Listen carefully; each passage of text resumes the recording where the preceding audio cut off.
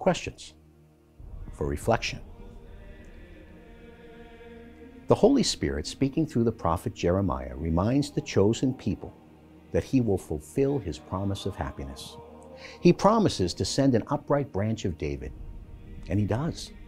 Jesus Christ, his son, the promised Messiah, is that upright branch.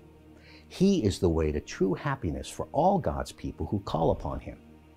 We are God's people now, reborn in the waters of baptism and grafted into him, the branch, the vine, Jesus, through which we receive all that will make us happy.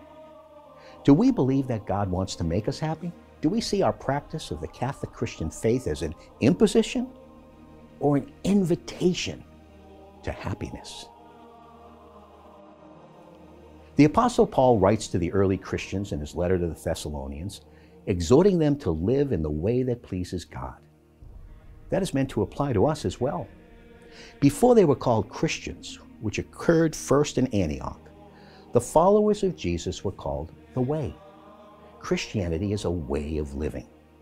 It is meant to transform every part of our life and engage the whole person, body, soul, and spirit. Do we live our Christian vocation that way? The end of the world as we know it, the second coming of Christ, and the final judgment is a revealed doctrine of the Bible and the clear doctrine and teaching of the Church. The Catholic Catechism explains though already present in His Church, Christ's reign is nevertheless yet to be fulfilled with power and great glory by the King's return to earth.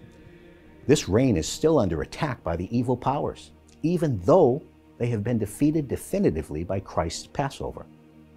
The Catechism continues until everything is subject to Him, until there be realized new heavens and a new earth in which justice dwells.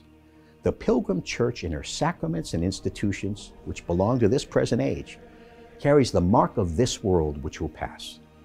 And she herself takes her place among the creatures which groan and travail yet and await the revelation of the sons of God.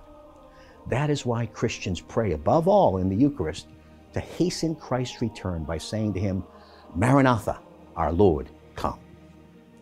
Do we believe this? Do we pray for his return?